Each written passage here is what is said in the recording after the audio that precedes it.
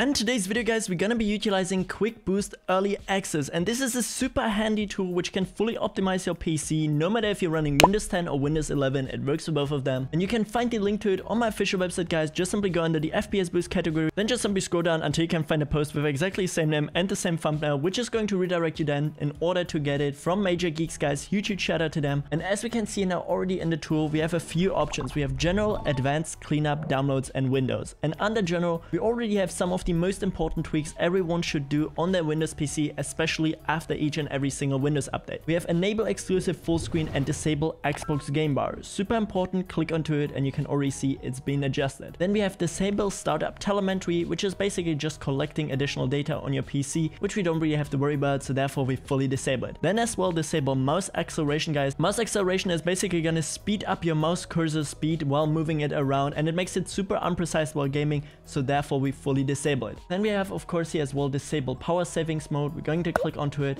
And then for the rest we also have here disable unnecessary system services. Click onto it guys and you can see everything has been disabled from our PC. The next up we also have remove pre-installed applications. Click onto it once guys and you can see here now everything is getting disabled which we don't need on our PC. So pre-installed applications are fully removed now. This is especially if you have like some of these like games, you know, and all that stuff, which is on your PC out of nowhere every time you install your Windows. And then as an additional step, we're also going to click on the disable startup programs manual guys.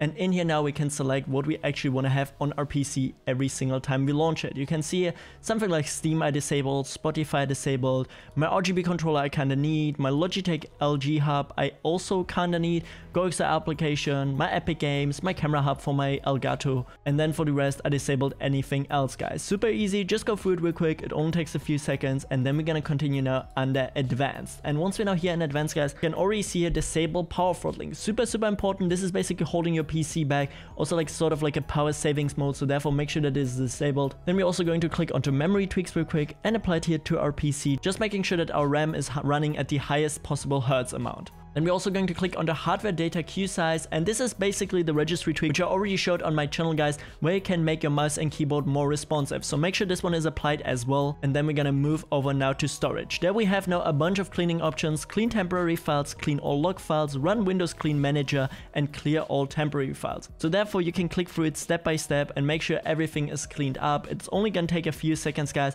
and it's really well made in this tool. And then finally we're also going to click now under Windows and they can see now additional features like show hidden folders. This is super important if you're trying to actually clean all the temporary data on your PC. Then Windows settings and options, something like disable notifications, super easy, disable clipboard history, fully disabled, and disable transparency effect, which doesn't look of course as cool as normally, but A, it gives you additional performance boost. So therefore make sure that this one is actually disabled. And if you're on Windows 11, you can also change a bunch of options here guys. That's super cool. I mean, A, it's all built into this one tool guys. So definitely huge, huge shout out to the creator of this guys. Quick Boost Early Access, amazing tool. And once we're now done with it, we can basically restart our PC. You don't have to let it run anymore on your PC. You can basically get fully rid of it. And with that said, we're already done here.